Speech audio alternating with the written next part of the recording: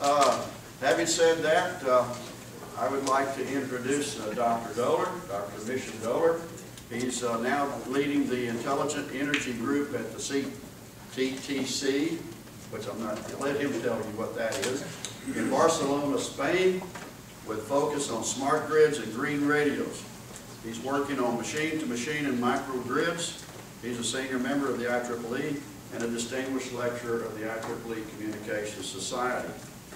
Uh, He's fluent in six languages and is an experienced lecturer with more than 30 tutorials over the past decade. He's published around 150 technical journal and conference papers uh, at a citation H dash and G dash index of 28 and 60. You'll have to explain what that is. I'm not sure I understand. Okay, and he holds a dozen patents. He's authored, uh, co-edited and contributed to 19 books, has given 31 international short courses, and participated in various standardization activities. He's been a technical program chair member and co-chair of various conferences, such as technical chair of IEEE PIMRC 2008 held in Cannes, France. He's editor-in-chief of ETT, and is, and is, has been holding various editorial positions for numerous IEEE and non-IEEE journals. Since 2009, he's also CTO of a company called World Sensing. From 2005 to 2008, he's been senior research expert at France Telecom in France. From 2003 to 5, he has been a lecturer at King's College London, UK, he obtained his PhD in telecommunications from King's College London and also his diploma in electrical engineering from Dresden University of Technology, Germany in 2000 and his master's degree, science degree in telecommunications from King's College London, UK in 1999. So, uh, as a distinguished lecturer, it is our privilege to have him here today speaking, so Dr. Dohler, All right. is yours. You know, before the iPhone came along, before the iPhone came along, the operators, the AT&Ts and the Verizons, they were really unhappy because they felt that, you know, the network was completely underutilized and they could do, squeeze more out of this. They're looking for the big killer application. Now along came the iPhone, and again they're totally unhappy because the network is completely oversaturated. And one of the reasons that is happening is because we are using it the whole day, okay? Consistently, we start in the morning in the bed, uh, breakfast, we're going to work, uh, you know, before lunch, at lunch, after lunch, at work, uh, coffee, afternoon, evening, and back in bed. We're just using this smartphone all over the place and all the time. Uh, often with very high capacity stuff, and that is actually saturating the, uh, the network. So now the operators are, are back to being unhappy, and uh, just to have, uh, understand where we are using it, it turns out in about 80% of the cases we're actually indoors, and about 20% in outdoors. Outdoors means commuting, traveling, shopping, something like that. It doesn't mean we have to forget the outdoors world, uh, it just means that you know, we're not using it that often, but you know, if we didn't have the ability to use a smartphone outdoors, we would be very unhappy. And this is what gives, uh, you know, the AT&Ts and the Verizons a very big headache, because it's relatively easy to come indoors, but it's not so easy to come outdoors. Now today I happen to speak about the, the indoors case, and we're gonna, we're gonna dwell on that, but so you just understand the numbers. Now in terms of uh, what it means in terms of capacity, um, it will just really increase pretty badly. So, you know, they're like predicting that in uh, by 2020 there will be 127 exabytes, 10 to the power 18. It's almost as many molecules we have in the universe. So many bytes will be exchanged essentially by 2020. We don't understand that these numbers are meaningless. Okay, the only thing I want you to understand is that as years drag on, you know, the, the increase in capacity over the wireless interface, the one you're using on your smartphones, on your iPads, etc., will increase exponentially. Now, are we prepared for that? Are we prepared for that? It turns out very badly, and this slide explains it a little bit. Yes? Uh, um, in, in Europe and, and Asia, they use their smartphones for a lot more, as much as, you know, like buying a Coke to paying your rent. And I, how is their data usage so much less when their, their networks are so much more uh, versatile than ours? Well, I, you know, the, the, the one which gives the operators a lot of headache is actually the, uh, the video stuff, the heavy stuff, okay?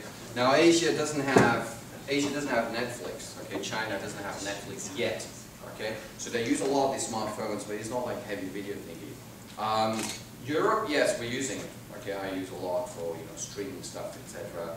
Um, you know, I presume in the US, the heavy traffic is really the Netflix kind of YouTube and all that. And uh, I, you know, I talked to AT&T guys and they're just horrified about this, okay? Because they can't, they just don't get along. And I'll tell you now why on this slide, the next slide actually, you understand why we're not ready for that. So there's a standards body called IMT, which is a international kind of group of guys, uh, Swiss guys, okay, big valleys somewhere in, in Zurich, sits in uh, sitting there, and standardizing essentially, you know, the telecom system. Now, in, in 1998, 99, uh, 2000, they got together and they said, hey, let's put out the requirements for our next generation system, which would be the 4G system. Okay, they got together and said, all right, so that system needs to be really power efficient and spectrally efficient, and they came up with some numbers like uh, it has to have 2.2 bits per second per hertz. I'm not sure it means something to you. It doesn't mean anything to me, actually. It doesn't mean anything to anybody. Okay?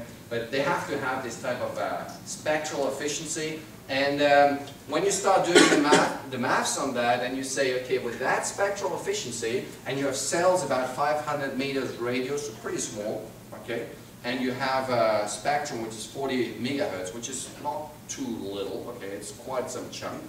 You figure out it supports 100 megabits per second per square kilometer, all right? That means the whole campus of your university, which is probably a square kilometer, I'm sorry I didn't do it in square miles, I'm not sure how much, how much it is, but you can do the math. So uh, I presume that campus is about a square kilometer, you would have just 100 megabits per second uh, for the whole campus, okay? Now let's do what we really need. We sat down, we figured out the density of people is actually pretty high, even European cities. So in Europe, we go up to 5,000. Mumbai is, uh, you know, 10,000. You got the uh, New York cities, the uh, um, uh, Mexico, etc. So the, the density, the peak density of people can reach up to 8,000 people per square kilometer. I presume at this university, you probably reach that number very, very easily. Now, if you go down and you say, okay, let's assume 10% of these 8,000 are subscribed to a broadband service like Netflix, and about 20% uh, using them, you need 5 megabits per second uh, to actually support the service. You end with a capacity density of 800 megabits per second per square kilometer. Okay, so you understand that our visionary guys in 2000 said we need 100, 100 megabits per second per square kilometer, and we actually need 800 megabits per second. And this was this calculus was done before the iPhone actually came out, and we actually started using broadband much more. Probably by now it's a factor 10 beyond that, so it's probably 10 gig per square kilometer. So the 4G requirements were short by a factor of 10 yesterday, short by a factor of 50 today, and will be short by a factor of 100 tomorrow. That's very bad. Okay, so the, the wireless committee has done a really lousy job, very lousy. You know, the computing co- committee, you never actually hear people talking about capacity limits. You know, it's just what on the applications, the Facebooks, the Netflix, etc. In the wireless community, we still have people talking about Shannon limit. You know, we're still talking about this limit. You know, what's the point? Design a system which really offers you a lot of capacity so we can focus on what we're supposed to focus on to write applications and get this economy going. And uh, incidentally, 4G is not even rolled out. So the Verizons and the AT&Ts, they're cheating on you when they say they have a 4G system. It's not 4G, it's actually 3.9G or 4G minus epsilon. Probably they didn't want to call it, so they called it 4G. Okay? So the problem is when 4G really comes, I don't know what name they're going to put. They come with 5G. So um, here you go. So just so you know about it, it's not a 4G system you're using. It will be out in a years' time. Now, how have we been dealing as a, as a community in the past uh, about this increasing capacity, which has been increasing all the time? Turns out there's a chap out there called Martin Cooper, and he figured out that every 30 years, capacity doubles, uh, 30 months capacity doubles. Okay? So since the 70s, 80s, that means we had a million-fold increase uh, of the wireless capacity capabilities. Okay, so we had a 1G system, 2G system, until now the 3.9G system. So it's increased uh, in capacity by a factor of millions, very impressive. Now, if we start looking, you know, who is responsible for this capacity increase, it turns out that making the cells smaller had the biggest impact by far, factor of 1,600. Okay? The spectrum had a factor of 25, so going from the GSM system, which had a 120 kilohertz band, to now 5 megahertz UMTS, maybe to 100 megahertz uh, LTE, you know, that is essentially having an impact factor of 25 here. Physically, an impact factor of 5, all right? Uh, that means, um, that means, you know, we have been subsidizing a lot of physical layer research in the past to make our systems better, to come up with new modulation schemes, to uh, come up with new channel codes, and the impact is just completely negligible, okay? Completely negligible. Maybe we would have been better off actually, instead of, uh, you know, paying all this research, actually uh, uh, just buy more small base stations, and probably by the year 19, 1990, we would have the capacity we have today. Okay, so it's very important to bear in mind the impact you have on the society, and if you look down on the cost, of course, making cells smaller, you need to buy property, you need to install, it, you need to maintain it, so it costs. It doesn't come for free. Spectrum doesn't come for free, it's free actually, but the government leverage is on here, so it doesn't come for free.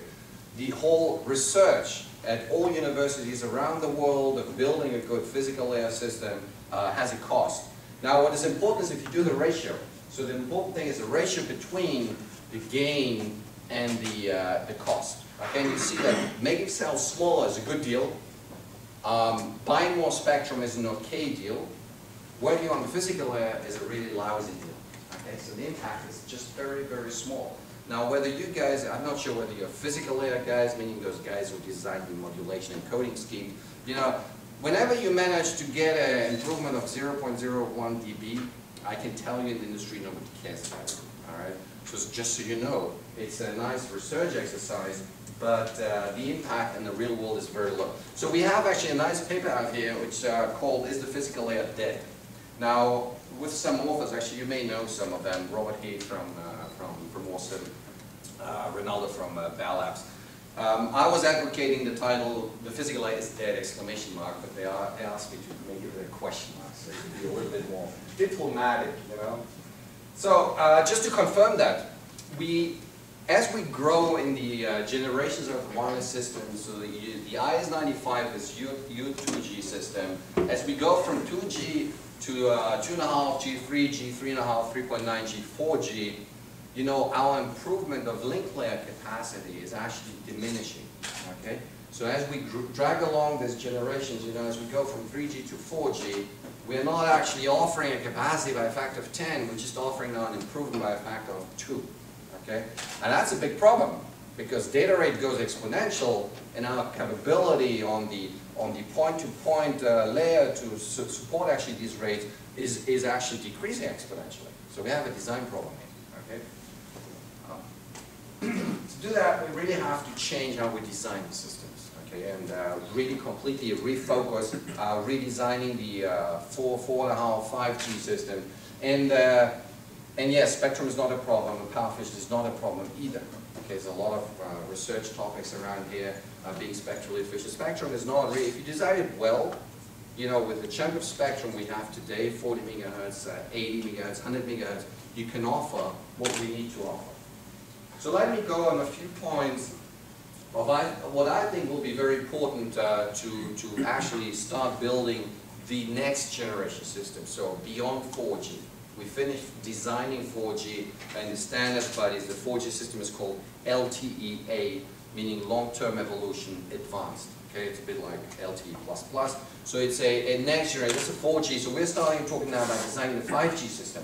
So one point we think is really important is to differentiate very, very clearly between wireless outdoor design, wireless indoor design. That will be very different, okay? So currently, the operators, the AT&Ts, the Verizons, are trying to reach you everywhere. They're trying to reach you with the very same system, whether you're out as driving, whether you're shopping mall, whether you're at home uh, sitting in your living room.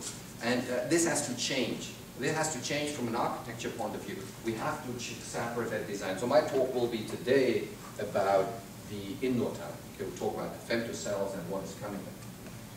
Then, you know, stop designing new physical layers, stop designing new access layers.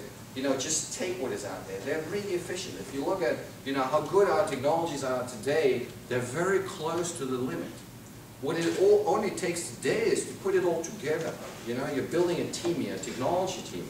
You're trying to assemble in a, in a good way the architecture and make it all work together. Another thing, we have to acknowledge that the technologies without there are heterogeneous. So there is not a single technology out there which will do the job.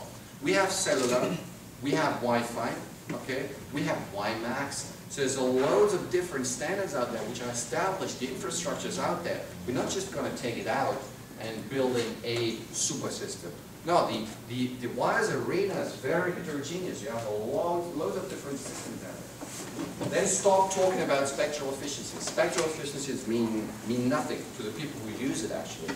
And they cheat us as engineers because we get away from the actual problem we have. You see, I, I, the whole 4G design has missed the point that we're actually short by a factor of 10 of the capacity needs because everybody was working on spectral efficiencies which have no meaning. Worked on the absolute numbers, so we know. Are we good? Are we close to the limit? Are we what we need? If not, start coming up with something new. And in addition is because we will be using different systems, we'll be using Wi-Fi at the same time as the cellular system. Uh, spectrum is very different. You know, Wi-Fi spectrum is for free, cellular spectrum is uh, very expensive. So when you start putting all together, it doesn't make sense anymore to talk about a single spectral efficiency. You're just comparing apples and oranges. So what were the real numbers, with the, with the numbers like bits per second per square kilometer.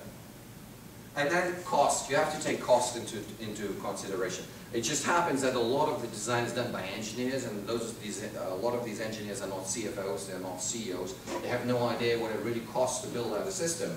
And, uh, you know, if you think a little bit, a lot of the cost issues are a question of the architecture. How do you assemble the? Okay, you can choose to put a lot of expensive components all over the place. You can make it cheap. You can actually let customers pay for the components. So there's a lot of juggling in terms of price, how to design the system, and nobody has really thought about this. And as we go from a voice-dominant era to a data-dominant era, things become very complicated for the uh, AT&Ts and Verizons because traffic goes up exponentially. You start using Netflix, YouTube, etc. Uh, but the revenue is flat. Okay, so uh, AT&T has runs its business today because of SMS. All right, because that's the best deal. It's the best, you know, it's the best dollar per bit you send. All right, whenever you use an SMS, it's the best thing they can do. So when you start using YouTube, you have typically like flat rates, at least in Europe, we have flat rates, so you just you know, download, you saturate the network, etc., etc. So it, it actually it actually flattens out the revenue. Now the problem is to support the traffic, the cost goes rather with the traffic than with the revenue. So it seems like you know the operators today pay quite a lot of money to subsidize actual companies like Google, Facebook, Netflix, etc. So we had a pretty unique deal in Spain. Um, it, uh, Telefonica, which is our Verizon there, managed to convince Google to pay part of the infrastructure, which makes sense. Because it's, you know, people were using uh, Telefonica's infrastructure to uh, access services where somebody else was making money. So Telefonica said, okay, guys, either you pay up or we just close the pipe. So they struck a deal, and I think it's a pretty historic deal. I haven't seen that before and after, actually. We'll see how that plays out. So here you go. These are the five design criteria for future wireless systems. So the idea being like, you know, you are very flexible, you're free, you can walk around, you can take the train, the plane, etc., and can really, you know, concentrate on using the applications and services you want to do without looking for cable. So what I'm going to do today, very high level really, I want to talk about two things. I'm going to talk about the the femto cell design, okay, the indoor stuff, you know, how can we provision the data indoors, not using Wi-Fi, but rather using a, a femtocell, a cellular system, so I'll explain you what it is. And then a little bit on the, on the actual management there, because it turns out we'll see that, that as the number of femtocells, you know, these little base stations you roll out increases, the number of degree of, uh, of the system decreases, now increases, so the problem is how to manage it. So whole, the whole system becomes a manager, the whole problem becomes a management problem. So we're going to talk only about these two things. Okay, femtocells, let's go for it. Femtocell is a very small thing. It's like a Wi-Fi station, okay? Um, I'll show you a picture in a moment. It's like a Wi-Fi station. The only difference, it's not Wi-Fi, it actually has a cellular interface. Okay, so it's a, a small base station you're actually installing at home. It's not the only way of offering a so-called small cell service. There are actually four ways of doing it.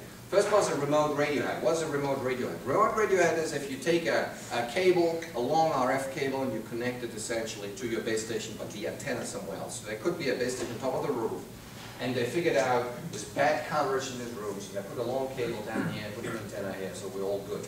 RF uh, remote head is, is, is a very stupid thing, has no intelligence whatsoever.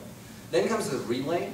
Now the relay um, is, I'm not sure where it is, here it is. A relay is a kind of a station which helps a macro base station, so there might be a macro base station somewhere mounted out there, and we put a small relay station here. It is under the control of the macro, macro base station, okay? It's just helping it to relay the data and you get a lot of uh, benefits, your power benefits, capacity benefits.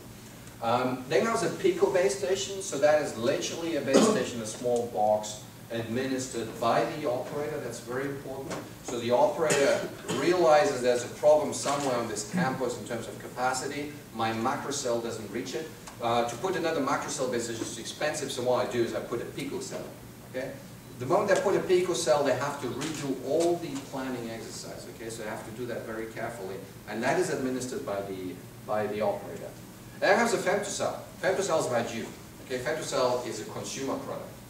It's, uh, it's like a Wi-Fi station. You, you decide when to buy it, you decide where to put it, and you pay the electricity bill.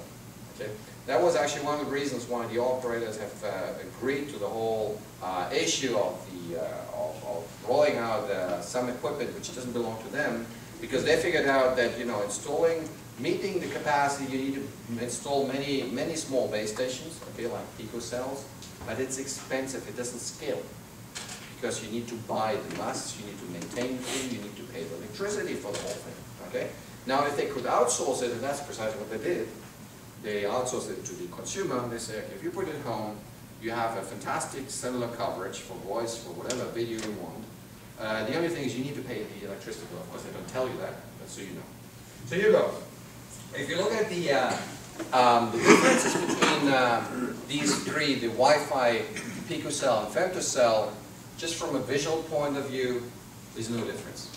Right? They're all the same. In fact, the RF technology, the radio chips, etc., the FPGAs and the DSPs and whatever, they are very similar. We're converging. Size, cost, capabilities. It's, uh, it's very, very similar technology. The only difference is that the picocell is administered by the operator, so the AT&T guys would need to decide where to put it. They have to redo all the planning. And in case of the Wi-Fi and femtocell, you decide essentially where to put and what to do. But there's one very important difference between Wi-Fi and femto. Very important. Um, it's the interference management, okay? Not sure how it is here in the US, but in Europe, when I'm at home, I see like 20 Wi-Fi stations. Okay? So I cannot work between my living room or my working room. I cannot. Because interference is just too heavy. You know, plus uh, plays a game, everybody's watching it, and uh, everybody's happing and chatting, etc., etc. So it turns out that, you know, I cannot have a decent Wi-Fi connection over three meters of distance because of interference. Now, in the case of the femtocells, it turns out, because there is some really controlled technology in here with some very established uh, rules because you're using licensed spectrum, you're using the very same spectrum as your normal cellular interface, okay? They have to have interference management capabilities built in. And that becomes very beautiful the moment you start ramping up the density of femtocells. And the problem you, you, you observe here will not be observed here, at least not to that degree of gravity. Now, this is what the operators play on. You know that the Wi-Fi will be around for a while, probably for a long time. It's a very established technology. Okay, I love Wi-Fi, no problem. But this is good in terms of interference, interference control, throughput, etc. Now, what are the opportunities? So a lot of stuff you can do once you put a, a an LTE or whatever, 4G or 5G femtocell into your home.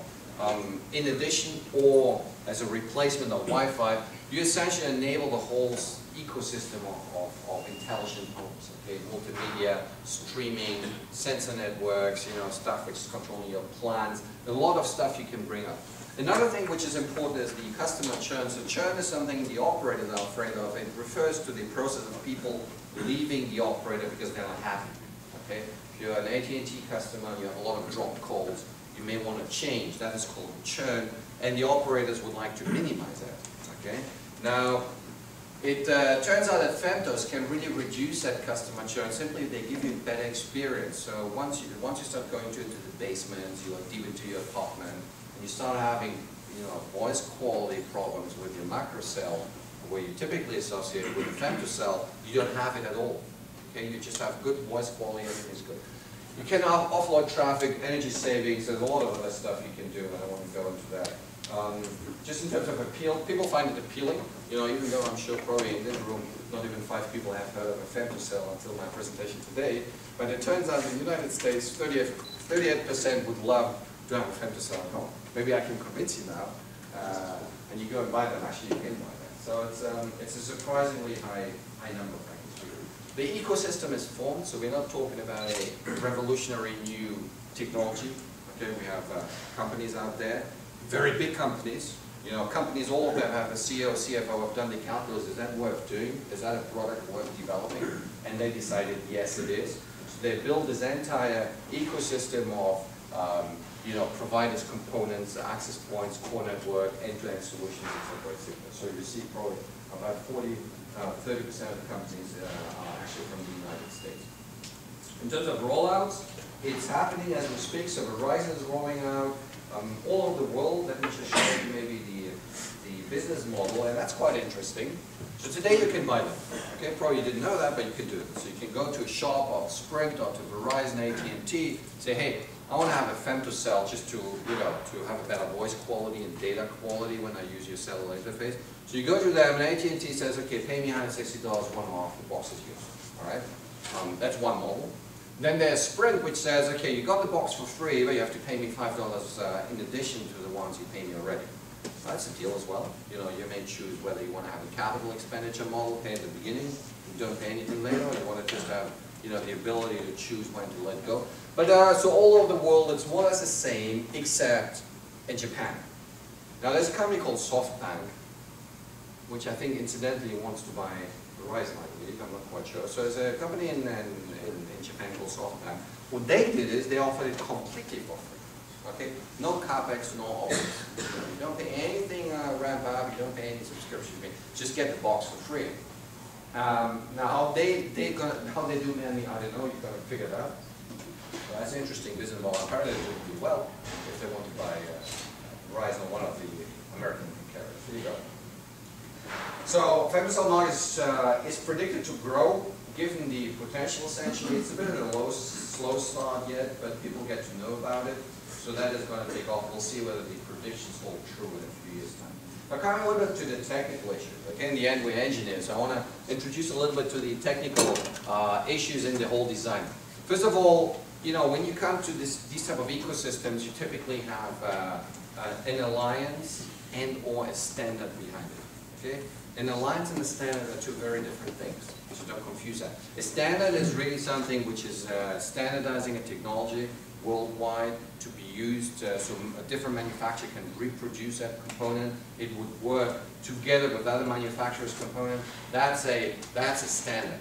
Now an alliance is if a few companies get together and start pushing for a certain type of technology, and often out of an alliance comes a standard, or out of the standard comes an alliance. So it's a very complex ecosystem between, um, you know, power, money, uh, technology, bonds, et cetera, et cetera. So in this case, we had an alliance which was called Femto Forum. So they were pushing for uh, developing these small boxes you install at home instead of you know, uh, Wi-Fi. They are renamed now to the Small, small, small Cell Forum this year, simply because you know they wanted to address other markets as well. And then come the, standards bodies. So there's 3GPP. 3GPP are the guys who standardize cellular systems. Okay, came out of uh, a worldwide association of 3G, if you have a 3G interface, has been standardized by 3GPP. When you were using now the 3.9G, the uh, what Verizon offers and AT&T has been standard by, standardized by these guys. So they're very active. And it turns out they have been actually kind of uh, blocking a little bit the femtocell rollout because operators in reality at the early days didn't like femtocells. Okay?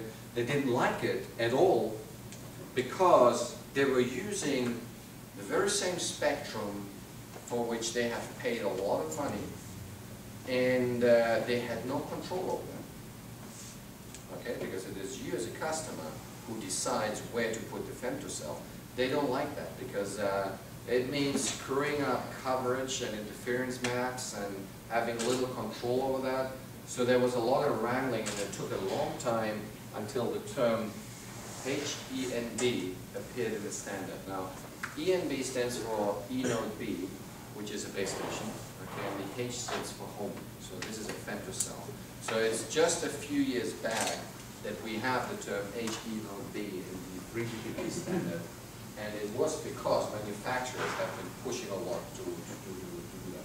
We have IEEE working on that, and uh, GSMA and other standards bodies who work on femtocells. Let's come to the technical issues. Now, these are essentially uh, the challenges you have to address to make these systems happen. And today we're going to talk only about one very briefly, which is in this uh, interference management. But I want you to understand that you really need to work on the low device cost because that is a consumer product. This is not anymore a, a, a base station which an operator puts up. And a base station costs a lot of money, okay? $100,000, whatever. You cannot buy that. We're talking about an equipment which shouldn't cost more than 100 $150, $200. So cost has to go down. And uh, it turns out that to do that for 4G, 5G is very challenging because the RF is very complicated. You need the high precision of the clocks. It's very expensive material.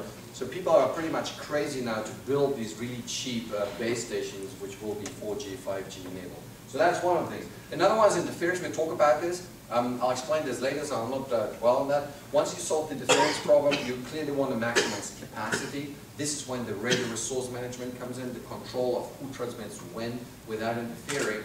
Because it turns out that Wi-Fi, when there are loads of Wi-Fi base stations around, the only problem is, is to handle the contention.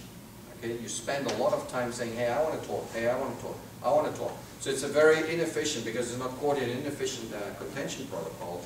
And, uh, you know, if they could solve that, you could have no problem, 1620 Wi-Fi stations operating maybe in time, time division fashion to get all the data through.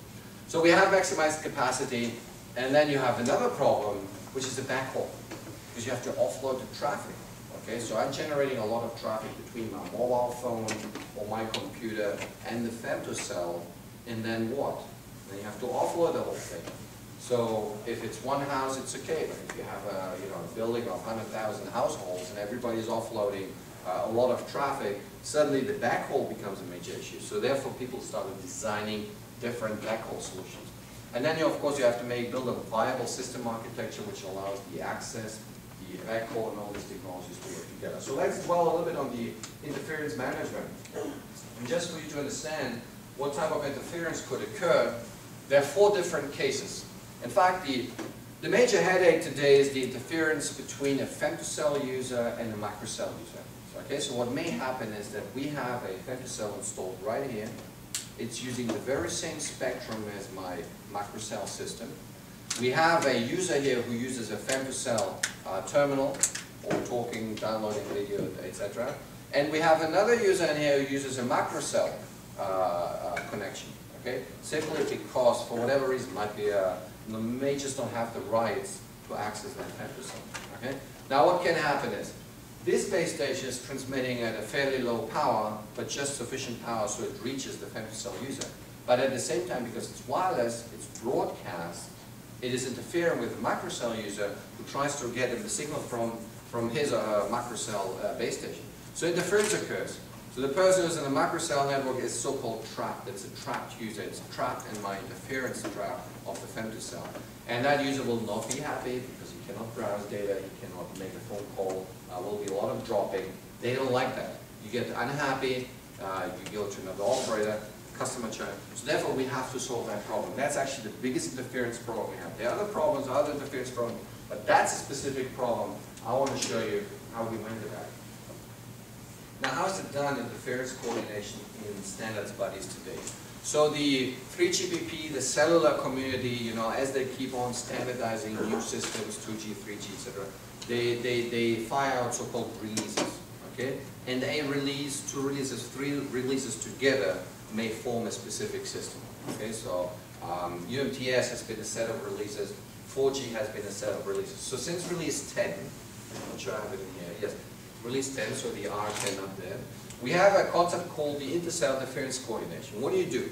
Are you trying to coordinate interference between different cells? Because my femto is creating a cell and the macro is creating the cell, and they're overlapping in the same frequency. Um, if you use it at the same time, you have a, you have a problem, same time, same frequency, you have an interference problem. So they said, okay, when we start coordinating this, the ICIC, we can coordinate it in frequency, um, in so-called carriers. So you could say, let's say the macrocell is using, you know, this blue kind of carrier, two of them. The femtocell could use both carriers at the same time, but the macrocell user in this carrier says, hey, I'm trapped, okay, I have a problem here. I cannot communicate, there's somebody interfering with me. So the macrocell informs the femtocell saying, hey, don't use that carrier because you're trapping one of my users. Uh, you can use the other one, but don't use this one. Okay, so they're coordinating the use of the frequency um, at that specific point. You can do that at the same, in the time domain. You can say, okay, at this moment, both of them can use the whole frequency, at this moment they cannot. So this is what is happening. Now, if you look at how the, um, the, uh, the packets are built today, the packets which are actually flowing in time and frequency in the systems, uh, you have, you get a graph like this. So this is an OFDM symbol. I'm not sure you're familiar with this type of uh, modulation scheme. So what is happening is you have your data, that's a time domain, and you have a frequency domain there. So you have uh, typically, you know, one to three symbols, which are OFDM symbols, which is control data, which are the dark ones, and you have the light ones, which is my data, my actual data you're transmitting. You always need control data, always, because the control data tells essentially the transmitter and the receiver what's the modulation scheme, what's the data in there, how long is my packet, etc. So there's a lot of stuff, information in there. And it turns out that uh, everybody actually in, in my community worked on interference avoidance schemes for the data region, but very little on the control region. It turns out that, of course, if you interfere on the control packets, the problem is that you're not even you're not even able to decode the data packets. It doesn't make sense, okay? So it doesn't make sense to protect your data if you haven't protected your control. So therefore, we started working a lot on protecting the control, uh, the control part, and that's the only, the only type of research I'll show you, partly on the management side. So what, do we, what did we do? We figured out how's the control information packaged today. Okay, so you have the subcarriers and frequency, and these are the three symbols in time here. Um, a control channel always contains three fields, always, okay, for all systems. One is the actual control frame indicator that tells you how is my con control channel actually packaged, what is in there, where are the different control information. Second one is the downlink control uh, data, so it means the cell identifier, what is the ID of the base station, who are my neighbors, handover procedure, stuff like this. And the third one is the um, hybrid ARQ indicator means an indication on how my uplink traffic went. You know, it means if you communicate with me, and it turns out I did not receive your packet, I tell you in this control packet that, hey, please resend it again because I didn't receive it. Okay?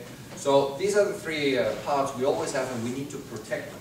Now it turns out if you look on how this is done today, if I just look very quickly on the coexistence between a macrocell and a femtocell, and the macrocell in three OFDM symbols has control data, and the femtocell in three symbols has control data. What you want to do is, is to ensure that this control data does not collide with this control data. Okay? Now, it also turns out that the position of the control information is deterministically linked to a specific number each cell gets, okay, which is called the PCI, the physical cell identifier. There are not so many of them, okay? But if you have a PCI 1, you put it somewhere in control data. If you have a PCI 10, you put it somewhere else, okay? So right now how it is done is the PCIs are actually planned for the macrocells, but the femtocells choose them randomly. So it can happen that a is being switched on, chooses a PCI which happens to put the control information such that they collide with the macrocell, so you lose all your packets. Okay? So the exercise now is very simple. What we do is we switch on the femto, the femto listens, hey, is there a macrocell around? What's a PCI? Okay, I'm gonna choose a PCI which is different from the macrocell PCI such that uh, I can place my symbols, my control data in a non-interfering manner to my macrocell data. Okay? This is essentially what's being done. Works really well. It's backwards compatible um, and really manages interference the femto and the macrocell very well. Um, we worked a lot on this interference management stuff, and uh, once you manage the interference between macro and femtos, you have a different type of interference, the interference between femtos and femtos. Imagine your campus here, most likely you wouldn't put out a single femtocell, you would put out like 20, 100, uh, you know, uh, 500 femtocells, and suddenly you see actually the main interference comes from the in- uh, femtocells between each other, like we have the Wi-Fi station. Uh, so we worked a lot on how to do that, but I'm not going to present that, so if somebody's interested, you should contact. Now comes the, um, an interesting part actually, a really uh, forward-looking part here, because as we start growing networks, uh, it becomes more and more complicated to manage them. Okay, so the management problem is a big problem. You have that, you know, as you grow, you know, your, your team, okay, research team as it gets bigger and bigger. The problem is not the individual anymore, but to manage the whole team together. The same happens right here in front of our eyes, with the cellular systems, simply because we have a lot of different standards appearing. We have loads of Wi-Fi's, loads of femtocells, loads of macrocells, picocells, um, machine-to-machine, uh, etc., you name it. So a lot of stuff suddenly coming out, some of them coexisting, some of them competing. Now how do you manage that? In real time, get the maximum pretty, pretty difficult to do, and the only way of doing that is to, um, is to look into something which is uh, called self-organizing networking. So it's a big thing taken off in the standards community today. So people work on this, and self-organizing means, you know, you let machines do what humans cannot do, okay? Now, machines are very bad in, you know, writing uh, poems and uh, composing things, but they're very good in two things. First thing is they're very good in uh, doing boring jobs, jobs which are very repetitive, very stupid jobs, are pretty good at that. And they're very good in doing things which we cannot do quickly enough. Okay, so it can be very reactive, can do very, very fast. So the boring job is, for example, if you put up a base station, it turns out, and very few people know that, that a whole team, a whole crew of engineers has to go there, not only mount it physically, but you actually have to do a lot of software programming. Okay, you need to check the inventory, what's the software, you have to update it, get the IPv6, the IP address, you have to establish a tunnel to the operator's backhaul, etc. So a lot of manual job, and often you're out there, you know, minus 10 degrees, and uh, it's very cold, and so it's a, it's a very operational problem.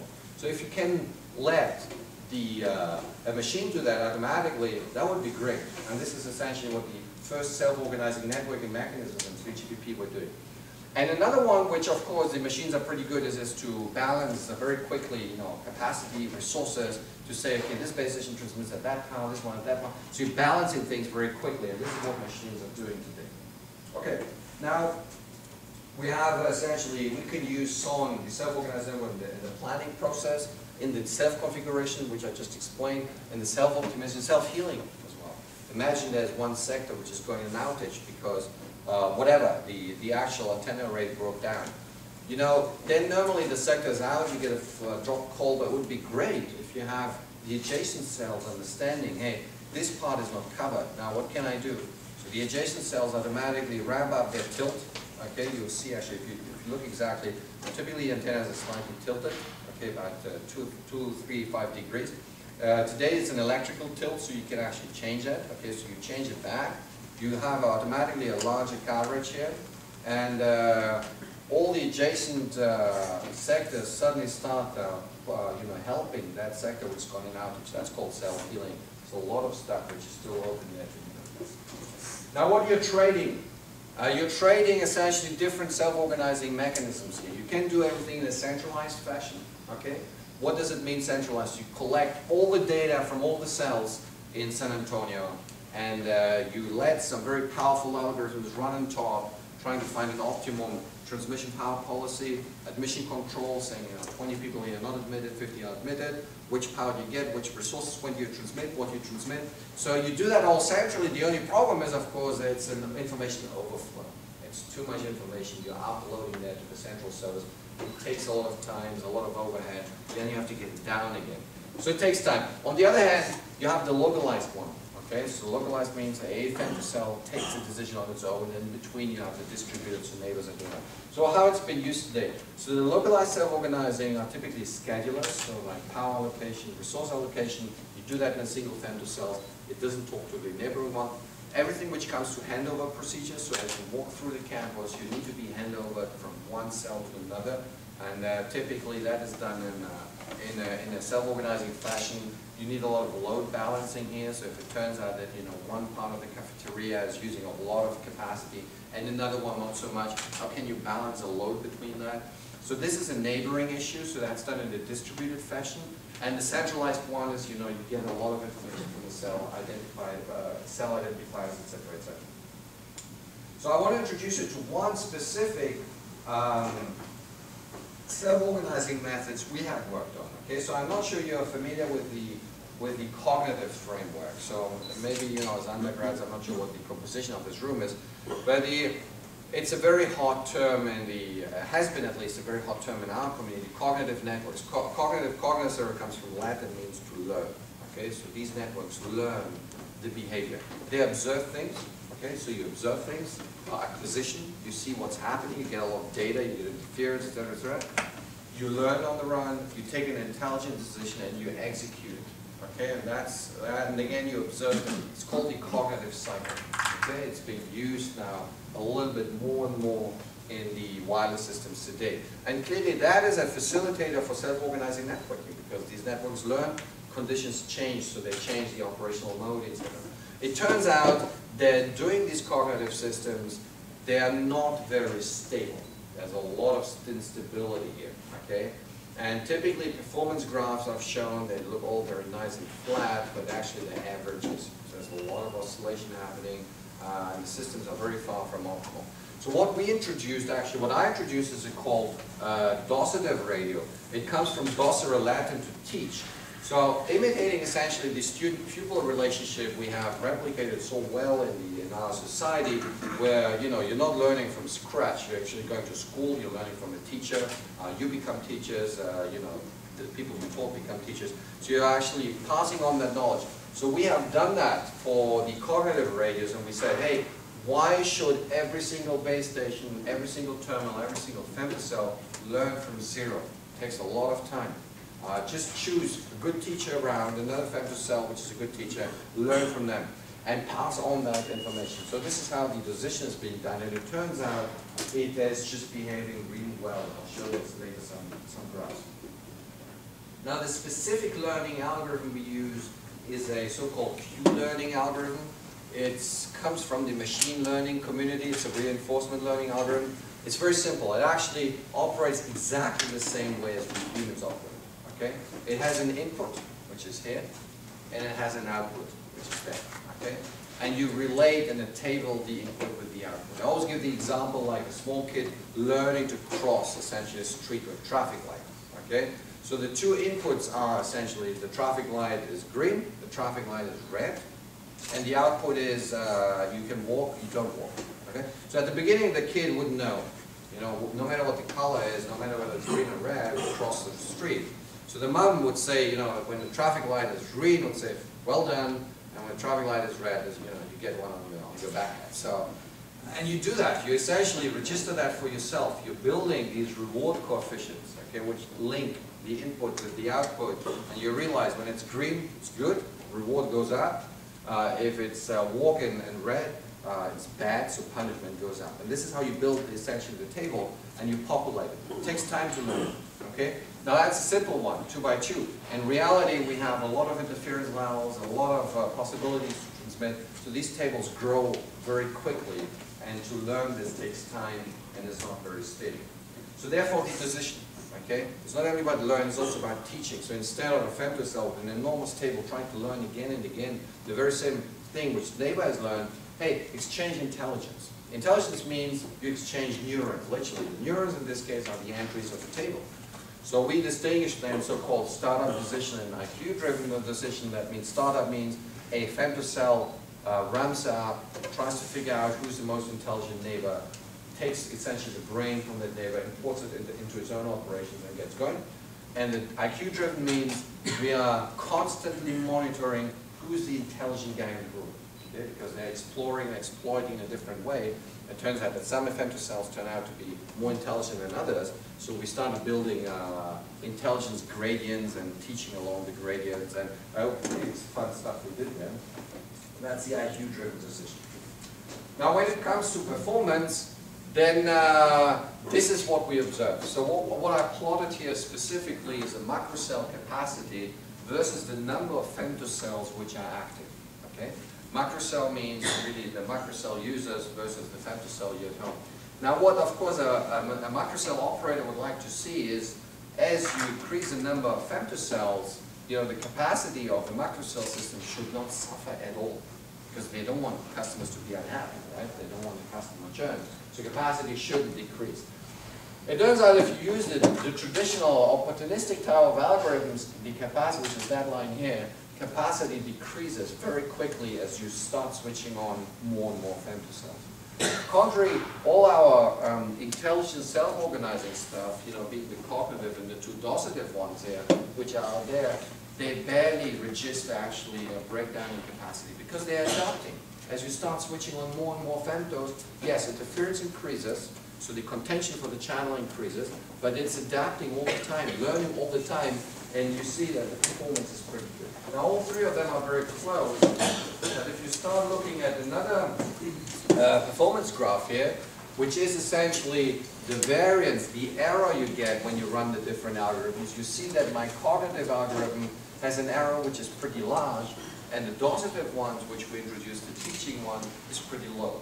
Okay? So what does it say? You know, it means essentially, you know, you have, for this one, you have a variance which is very high. It's oscillating quite a lot. Sometimes you're in good position, but sometimes in a bad one. And in this case here, uh, you have very small oscillations, and it's a pretty stable solution.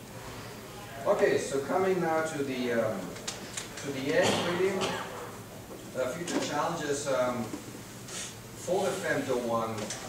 I think the biggest challenge is to accommodate for the heterogeneous uh, assembly of technologies because you know there will be femtocells at home, there will be Wi-Fi stations at home, there will be machine-to-machine solutions that I'm talking about today. Actually, at six o'clock today, I'll be talking about machines. There's a lot of technology coming out here, uh, which you really need, need to make sure you know this has to coexist, and they have very different requirements. So, therefore, the self-organizing stuff will be uh, core to all those developments. Very little spoken. That's a very exciting research area to work on, you know, whether it's for the master's, master projects or the, or the PhD projects, etc. 3GPP, the, stand, the, the leading standards body on cellular designs, uh, they need input on SON. It's uh, loads of open actions here. And then the business model, I think it's quite interesting. Um, you know, what's a business model really to run these femto cells? And there's a, um, I'm not sure, do you know a company called FON? It's a company uh, founded by an Argentinian guy who lives in Madrid in Spain, and it's for Wi-Fi, okay? So the idea is you buy a little dongle, uh, you attach it to your Wi-Fi uh, station, and it allows essentially other phone users to use your Wi-Fi, okay? Without you needing to give away your password or to be afraid that they would actually take a lot of capacity, so throttling the, the, the bandwidth. Maybe the same has to be used really for femtocells to get that, um, that working. So future rollout, the last slide really, uh, future rollouts. We talked a lot today about the standalone femtocells. That means, you know, you go home, you put your femtocell like a Wi-Fi station, uh, your neighbor does the same, etc. But as, but as the capacity increases and the number of femtocells increases, we will observe something like a network femtocell. The same will happen maybe on the campus. As you start rolling out more and more femtocells, uh, they start being network. And then something interesting is happening, a little unexpected actually, uh, manufacturers and operators started looking into the outdoor piece. Okay? Femto before was really indoor. But suddenly it turns out, hey, why can't we use a femtocell outdoors? If there's a, pro a problem with capacity in a sports event, a lot of people there trying to, you know, make phone calls, etc., etc. So you, you essentially, it's not the operator who puts up the capacity, it's the actual facility provider, the guys who own the stadium of this university. They may put out some femtocells and say, just, you know, I'll give you better quality, voice quality, video quality when you come to my facilities. And the uh, final one is the mobile femto. And here the beauty is you put a femtocell in the bus, in the train, in the airplane. And instead of being 20 or 50 people associated with a macrocell, you would just connect all to the femtocell. And uh, the nice thing is, is on the handover procedures, because traditionally, like 50 people in the, in the bus, and you drive through essentially a, a microcell, go to another microcell, you have to hand over all 50 people, it's a lot of signaling. Now, if you just uh, hand over a single femtocell, you get actually a lot of gains, okay, in terms of uh, handover traffic. And actually, the only reason you're not allowed to use a mobile phone in the airplane is this. Okay, there's no other reason. You can do it, it's no problem.